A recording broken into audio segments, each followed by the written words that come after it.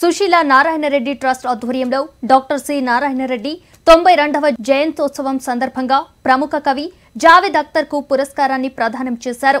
కార్యక్రమానికి ముఖ్య అతిథులుగా మహారాష్ట్ర మాజీ గవర్నర్ విద్యాసాగర్ మంత్రి సింగిరెడ్డి నిరంజన్ రెడ్డి తెలంగాణ ప్రభుత్వ సలహాదారు రమణచారి మాజీ ఎంపీ లక్ష్మీప్రసాద్ తదితరులు హాజరయ్యారు. విశ్వంభర అనే జాతీయ సాహిత్య పురస్కారాన్ని జావేద్కు అందజేశారు. అనంతరం సమన్వయం అనే పుస్తకావిష్కరణ చేశారు.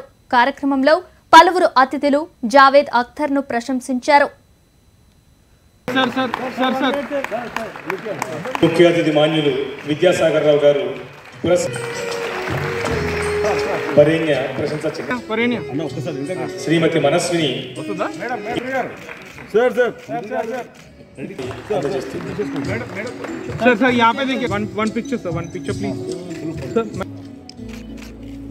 okay okay ready